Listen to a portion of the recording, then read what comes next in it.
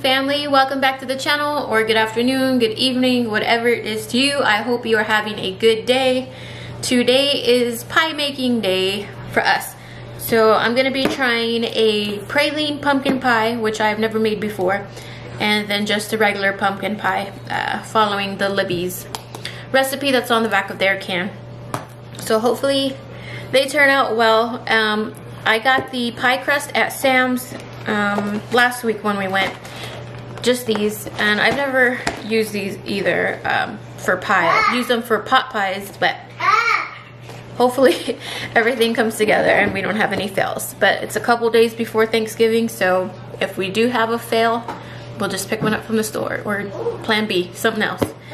So yeah, let's make these pies. And then um, as always, I'll share the link to the recipes down below so you guys can try them out at home and if you do end up trying any of the recipes that I post, um, let me know. I have a Facebook page, Dee's Happy Home. Uh, share a photo with me there. I would love to see the things you guys create. Or if you want to see something that I haven't done, let me know too. I would love to do it. But yeah, let's go ahead and get started.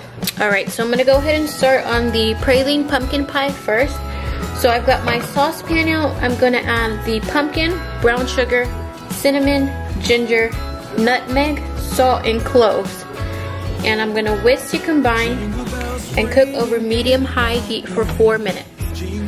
sound that's oh so dear. Frosty the snowman is all around town.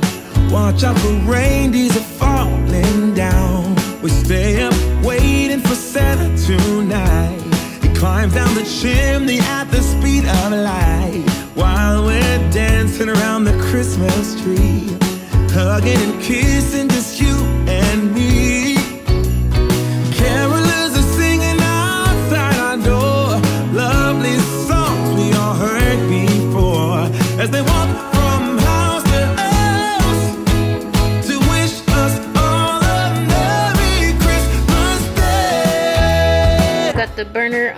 medium high. Gonna set a timer for four minutes and it says to stir continuously.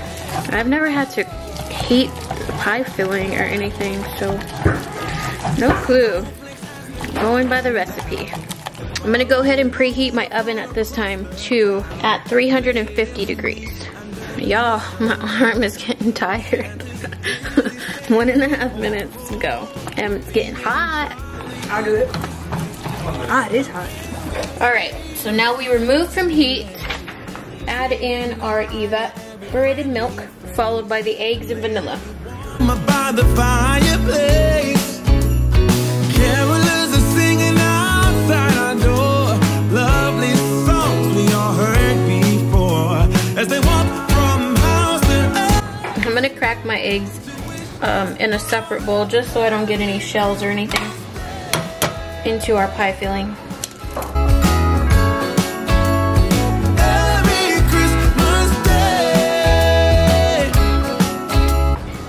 Gonna lie, I was a little afraid the eggs would scramble. Alright, so now we just gotta pour our filling into the pie crust. So let's go get that pie crust ready. Okay, so the pie crust has been out for about 15 minutes or so, but it's still kind of chilly in the house. Hopefully they are thawed enough. But they were just in the fridge, so it should be okay.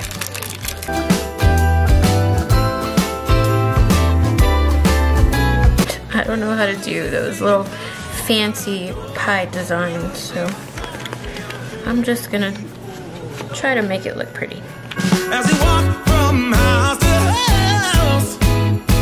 I supposed to trim it? Who knows?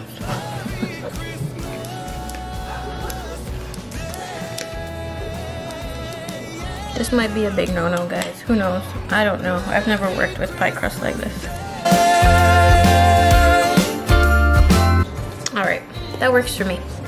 Pie filling going in. I should probably put this on a tray first. Hold on.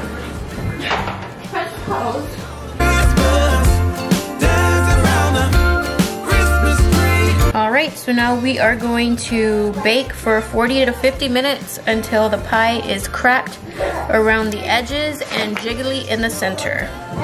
So let the countdown begin.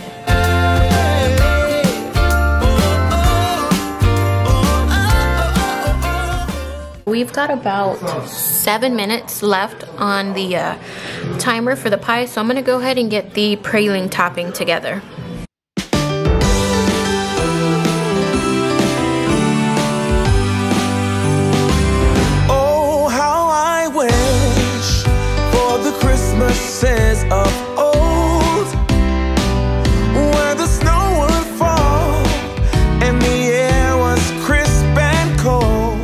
We pull the pie out of the oven, we'll top it with this praline, add a little bit of sugar over that, and return it to the oven to bake some more.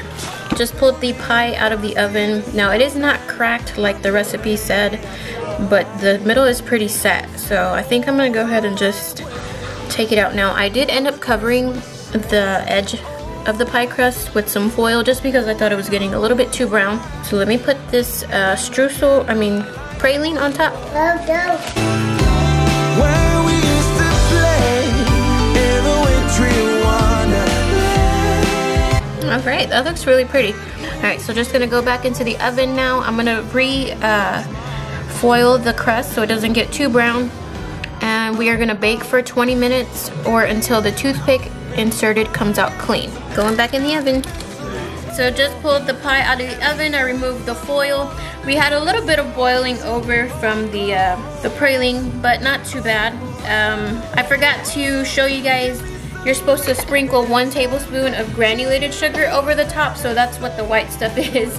Um, but yeah, smells really good, looks really good. So hopefully it tastes good. We'll find out on Thursday. This has to cool for about two hours and then um, I'll go ahead and cover it and stick it in the fridge. I am going to bake the other pumpkin pie later on. Mr. Atlas is getting pretty fussy so we're about to get him down for a nap. All right, so we are back from nap time. We've got Atlas finishing up some lunch. So I'm gonna go ahead and get the um, just a regular pumpkin pie into the oven and I'm just gonna follow the famous pumpkin pie recipe that's on the back of these Libby cans. Um, so I've got the oven preheated to 425 already. So I'm gonna get my pie crust and get that into the shell.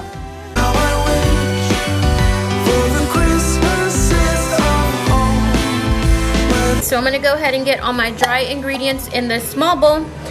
I've mixed those together. So I'm gonna do 3 fourths cup of sugar, half a teaspoon of salt, one teaspoon of ground cinnamon, half a teaspoon of ground ginger, and a quarter teaspoon of ground cloves.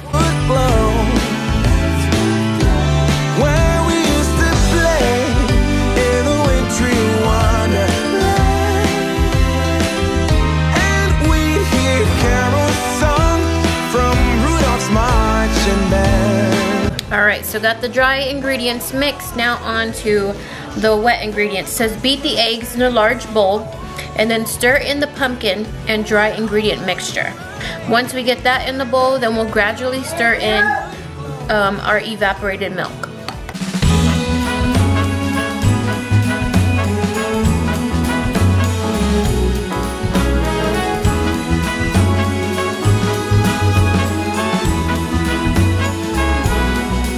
On this cold December day, we are on our merry way, riding along, just singing a song, barreling through the snow.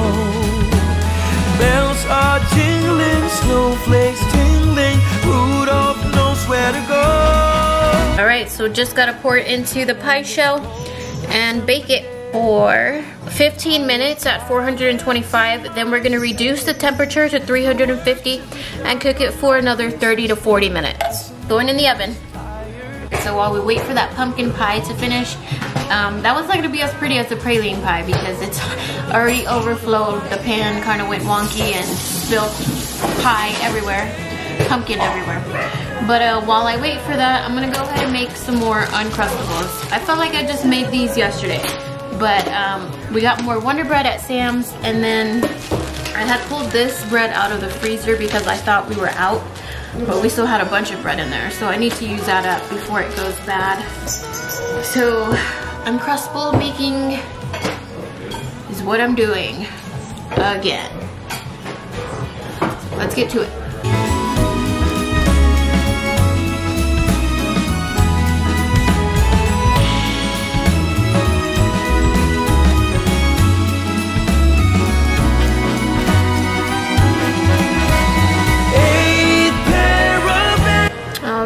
So just pulled our pumpkin pie out of the oven.